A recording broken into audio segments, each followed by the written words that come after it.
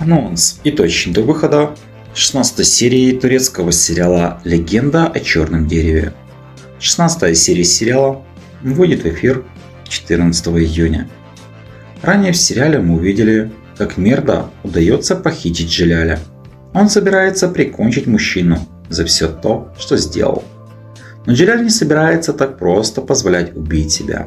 Он собирается сразиться за свою жизнь. Но Мерда все же стреляет в него – когда парень собирается убегать, то сталкивается с Амером. Он не может поверить в то, что его друг так поступил с ним. Ему больно от этого.